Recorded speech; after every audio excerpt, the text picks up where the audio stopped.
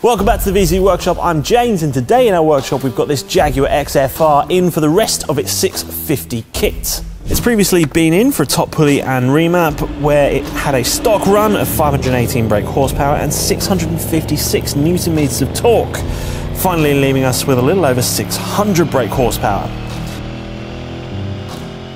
But we can improve on that even further. So it's time to get our technicians stuck into replacing the charge cooler, lower crank pulley, custom supercharger belt, and adjusting the map to compensate for all these new mechanical changes we've made.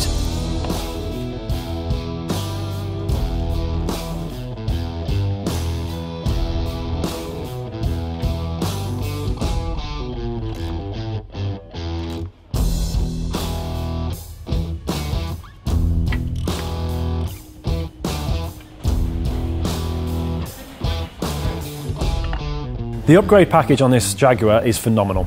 Our 650 kit on here, introducing the lower crank pulley, custom belt, charge cooler, to go on top of the upper pulley and remap that the customer already had previously, is going to transform this vehicle. The supercharger is actually capped below its sort of maximum safety from the factory of 19,000 RPM. We keep it below that at around about 18,000 RPM with the upgrades we've made to it. Again, this engine is very much like a diesel in terms of the torque limitation that's in there. People often go into tuning these supercharged engines thinking it's typical petrol, they throw a load of timing, a load of fuel at it, and think that will get the most power out of the vehicle that they need. In actual fact, it's a torque limited engine.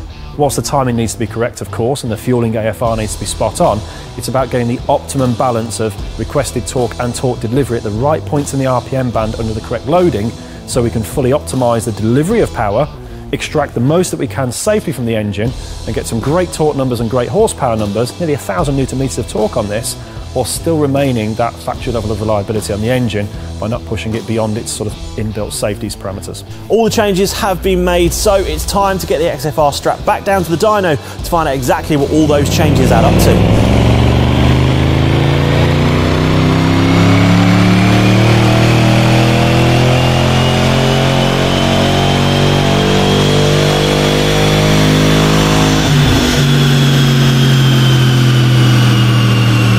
You're going to ask. What did it run? I can tell you that this XFR ran 651 brake horsepower and 961 newton meters of torque, a massive improvement.